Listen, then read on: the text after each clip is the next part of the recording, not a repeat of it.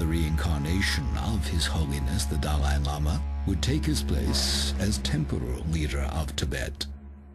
The symbolic seat of this mystical government became the Potala, a majestic monastery looming over the legendary capital city of Lhasa. Well into the 20th century, Tibetans remained virtually untouched by the modern world. The threatening thunder of a human storm grew louder in Tibet as the 20th century progressed. The communist revolution swept China, and with it came a surge of interest in controlling the land of Tibet.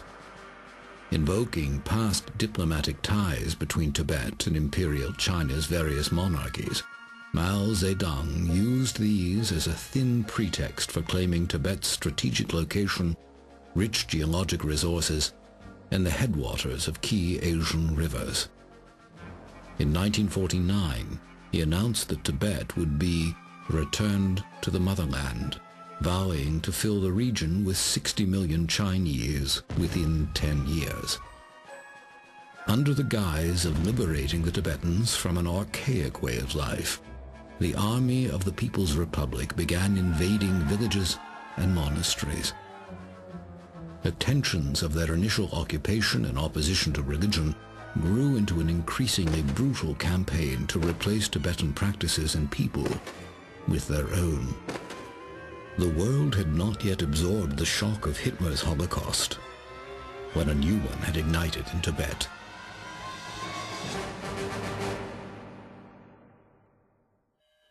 The degree of the destruction is difficult to comprehend or communicate.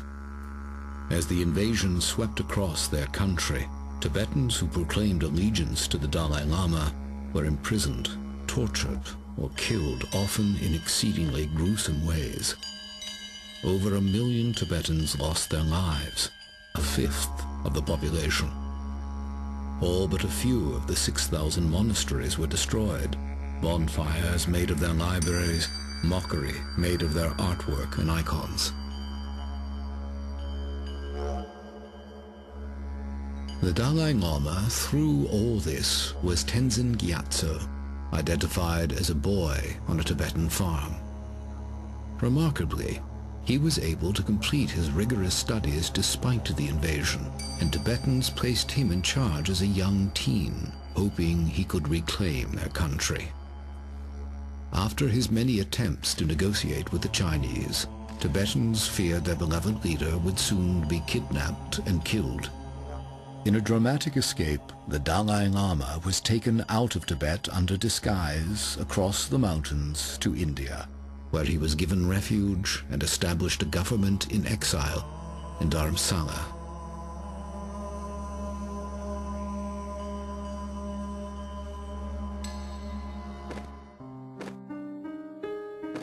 Chinese cruelty escalated in the years following the escape of the Dalai Lama prompting a flood of Tibetans following His Holiness to India for refuge. Among them were a number of their revered yogis. After decades, the memory of that dark passage remains vivid.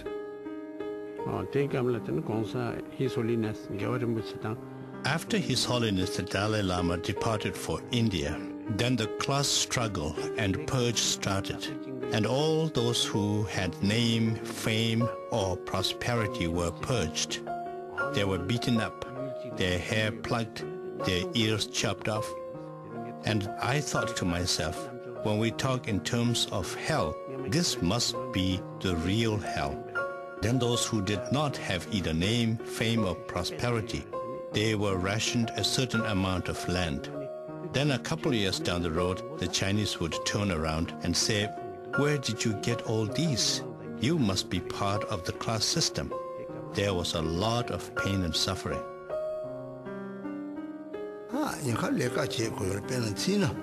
I was in Chinese prison for nearly 20 years. In the prison, instead of going to sleep, I would make a conscious effort to sit up and meditate. On Sundays, it was mandatory for everyone to sleep and keep quiet and I would pretend that I was sleeping, but in my mind I would meditate and quietly recite the mantras.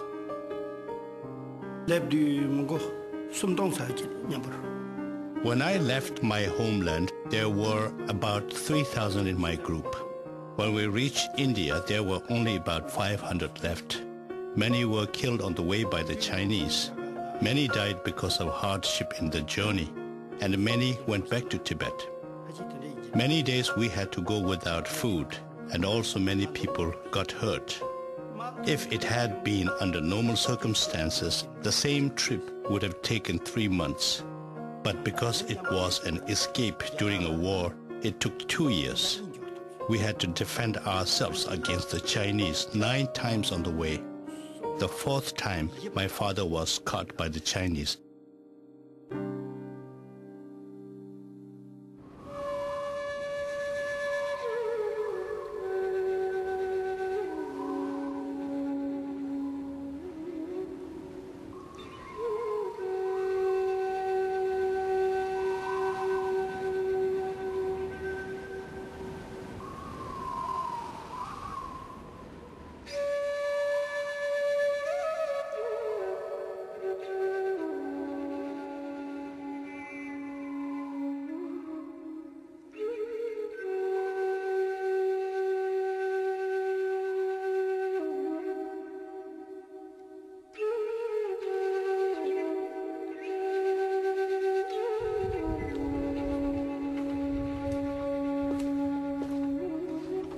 In the decades since the invasion, Tibetans in exile have attempted to recreate their life as it once was.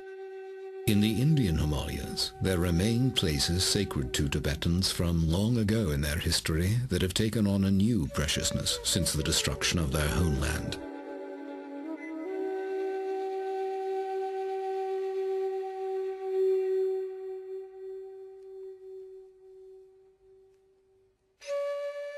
They've also established new monasteries and schools in refugee communities throughout India. The government in exile remains in Dharamsala, working to help their people rebuild their lives.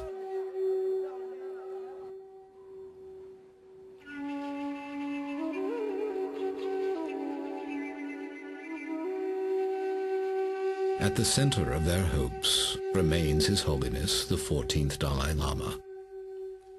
In the decades that have passed since fleeing the Chinese, he has accomplished what his predecessors would never have imagined. Worldwide recognition as one of the most extraordinary scholars, statesmen, and humanitarians of our time.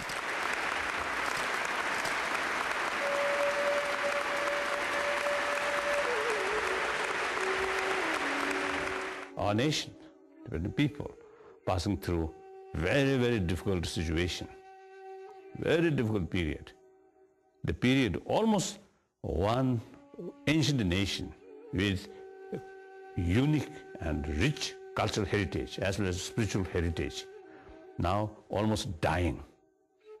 I think uh, very firstly, as quite human nature, when someone, you see, uh, who have who, who get all power, uh, then eventually power spoil or destroy one's own sort of good facility, good quality.